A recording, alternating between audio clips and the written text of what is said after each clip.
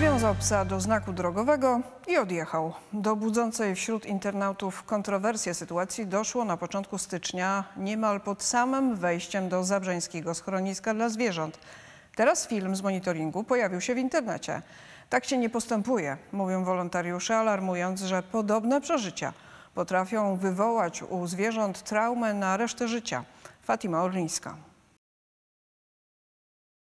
Taka trauma może spowodować, że w przyszłości szanse na adopcję takiego psa zmaleją, ponieważ krzywdzące doświadczenia nie pozostają bez znaczenia dla charakteru i zachowań zwierzęcia. Suczka pozostawiona przy supie w Zabrzu cudem uniknęła śmierci, bo po tym jak człowiek, z którym przyjechała zostawił ją panicznie, zaczęła go szukać. Suczka y, zaczęła się wyrywać za tą osobą i po prostu w panice przegryzła smycz. No ale jak już tą smycz przegryzła i pobiegła y, za tą osobą, która przywiązała ją, no to już tej osoby na miejscu nie było, więc ona w popłochu zaczęła biegać właściwie tam i z powrotem, cały czas wracając na miejsce, z którego y, przyszła. I tak naprawdę mogła się wydarzyć tragedia i ona y, biegając od 5 do tej 7 rano, potem do 8, bo godzinę ją łapaliśmy, to są trzy godziny w ciągu których ona mogła stracić tak naprawdę życie. Pojawiły się ogólnie w internecie głosy o tym, że dobrze, że pod schroniskiem, a nie w lesie i tak dalej, ale ja myślę, że tutaj nie możemy patrzeć na to tymi kategoriami, że lepiej pod schroniskiem, tylko ogólnie zwierząt tak nie można traktować. To jednak jest zwierzę, które ma uczucia, które ma różne emocje. Dlatego Zabrzańskie Schronisko to jedna z tych placówek, która nie do końca pochwala tymczasowe adopcje na tak zwane zimowe dni, w ostatnich dniach zyskujące na rozgłosie i popularności. Po pierwsze dlatego, że kojce w Zabrzu są ogrzewane, po drugie nie każdy pies poradzi sobie psychicznie z takimi zmianami. Mieliśmy ostatnią sytuację, że piesek też wrócił do schroniska z adopcji po pięciu latach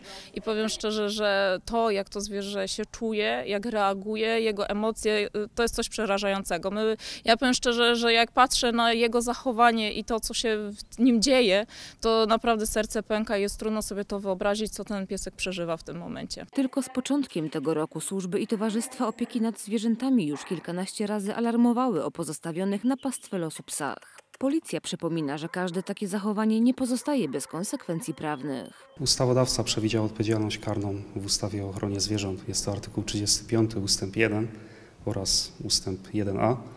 Traktuje on zarówno o uśmiercaniu zwierzęcia, jak i o znęcaniu się.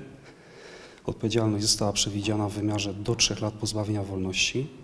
Istotne jest też jej zaostrzenie, jeżeli sprawca działa ze szczególnym okrucieństwem. Warto wspomnieć, że policja nie prezentuje taryfy ulgowej w stosunku do takich sprawców. Wszystkie sprawy traktujemy bardzo poważnie. W komendzie w Siemanowicach w 2023 było 14 takich postępowań. Które z reguły kończyły się zarzutami oraz aktem oskarżenia. Dlatego rozważając ewentualną adopcję czy w ogóle nabycie zwierzaka warto zastanowić się dwa razy, a chwilowe emocje pod wpływem impulsu odłożyć na bok.